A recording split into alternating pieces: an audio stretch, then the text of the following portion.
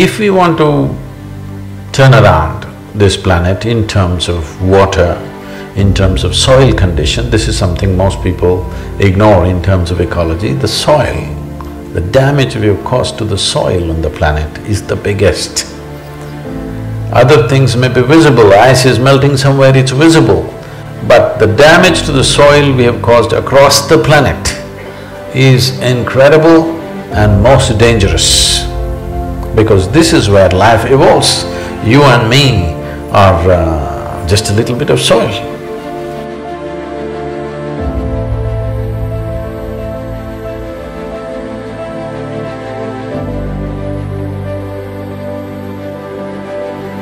If we fix the soil, water is fixed, air is fixed, everything is fixed. Soil must be rich and on because this is the same sod. Very well said, and I can give a little context for that.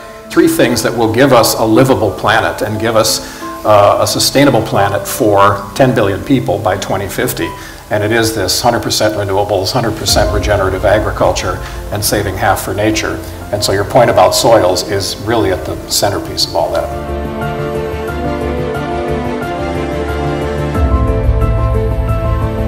This human being is a tremendous possibility. Humanity has the intelligence and for the first time the competence to fix things on this planet like never before. We are the first generation who have the necessary competence, intelligence, technology and communication capabilities. We have to exercise this competence. We must raise human consciousness. How open everything is left in you. This is what consciousness means.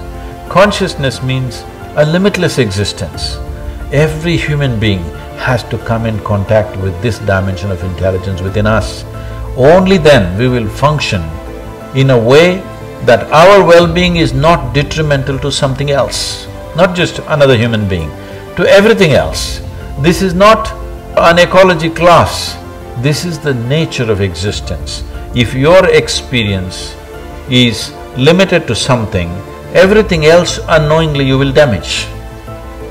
If your experience includes everything, then everything that you do, every action that you do, every breath that you take will be in contribution to everything else.